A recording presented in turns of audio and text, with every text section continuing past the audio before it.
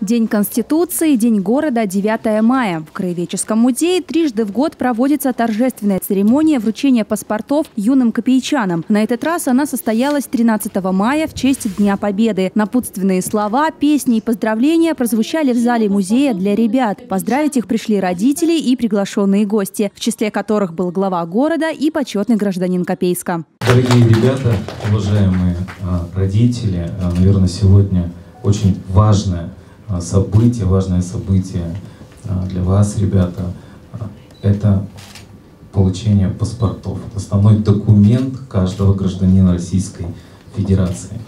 Он открывает новые возможности перед каждым из вас, новые границы. Сегодня действительно волнующая минута для вас. Пройдет 4 года, и вы будете принимать участие в решении судьбы нашего Отечества. Вы будете иметь право голоса при выборе высших органов государственной власти, при выборе президента Российской Федерации. То есть вы будете влиять на судьбы нашей страны.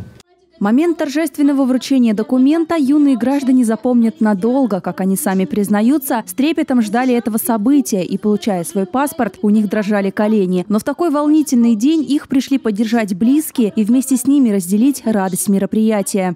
Вступая в новую жизнь, я и мои сверстники обязуемся хорошо учиться, много работать, чтобы стать профессионалом своего дела, следовать традициями старших поколений, чтобы стать достойными гражданами нашей прекрасной страны России. Страшно было немного, то, что в первый раз, но очень понравилось то, что так поздравили. Тоже переживаем очень сильно, конечно. Одни эмоции.